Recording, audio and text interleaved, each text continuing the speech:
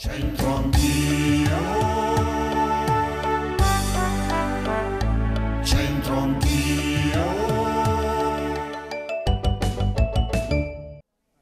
Rieccoci a centro anch'io, grazie per la vostra simpatia e la vostra amicizia. All'interno della Pinacoteca Tosio Martinengo, bellissima, rinnovata, andate a visitarla, c'è anche il Portarolo, questo dipinto di Giacomo Cerutti. Ceruti conferisce al giovane protagonista una presenza incombente mentre cammina verso lo spettatore con vestiti umili e vecchi. Sulle spalle reca un cesto contenente probabilmente delle uova e un foglio ripiegato. Tutte le figure in secondo piano, una donna probabilmente cieca e uno storpio trascinato in un carretto, si dirigono verso l'edificio sullo sfondo che è un ospizio.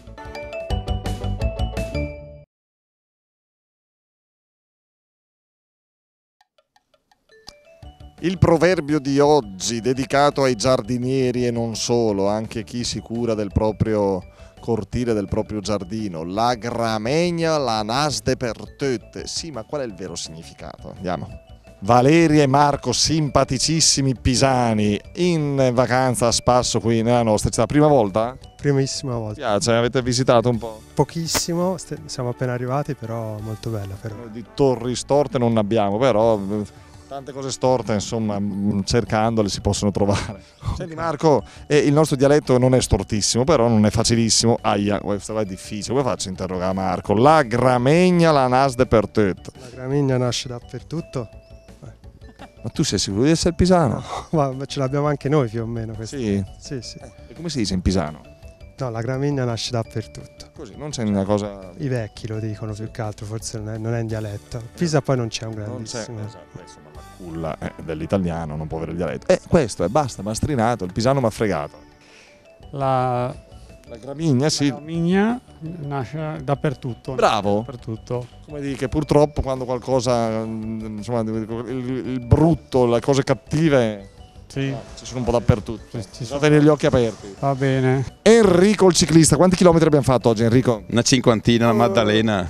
poca roba Oh, va, uno scherzetto. oggi. scherzetto Ah, sì. ma, eh, ma tu sei uno proprio di quelli seri No, faccio finta di essere serio. sabato 100 ti- eh, 120, 130, 150 al sabato al sabato. Ma tutti i giorni bisogna uscire in estate in No, primavera No, no, no, il sabato bisogna uscire. Eh, però Il sabato è un martedì e il giovedì al massimo, dai. Altrimenti non siamo allenati eh Difatti, senti Henry la gramegna la nasde per tutto è l'erba cattiva che cresce dappertutto. tu che sei appena sceso dalla Maddalena di erba cattiva ne hai vista?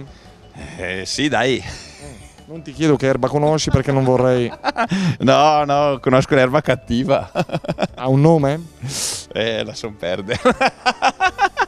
La gramegna, la nasde per te, lo sanno bene i giardinieri, quelli che devono curare i giardini, chi ha l'erba eh, nel proprio parco. Perché? Perché l'erba cattiva, la gramigna, nasce ovunque, è difficile da estirpare. Bene, eh, oh, ci sono i ragazzini adesso, noi chiudiamo, ma ci sono loro, li interroghiamo come sempre, che sono sempre più simpatici e stanno raccogliendo tanto consenso. Grazie a voi che ci seguite numerosi, alla prossima, ciao!